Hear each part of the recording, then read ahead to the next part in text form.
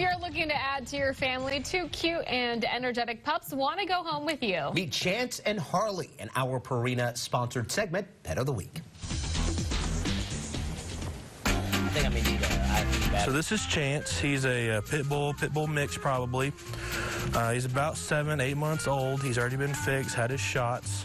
Um, we're looking for a home for him that doesn't have any other animals. Uh, we have a little rope toy here in the yard. He plays tug of war with um, since he's by himself a lot. Um, he's super energetic. He loves to play. We've had families come out and take a look at him. He hasn't been aggressive with them. With cats, we don't know because we don't have any cats here at the shelter.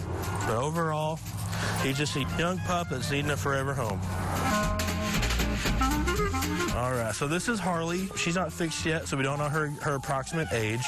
A mix of a couple dogs, we think. Possibly a heeler, possibly collie, uh, maybe boxer, or maybe even lab. We're really not sure. She's a sweetheart through and through.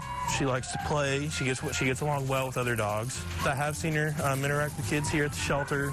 She's not aggressive towards them. She does well with both male and female dogs. With cats, we don't know. She'll get fixed. They'll give her her shots um, and an age approximation then as well. She knows how to sit pretty well on command with me and a couple other staff members. She plays rope pretty well. Overall, she'd be a great family dog that has for a young dog that has energy.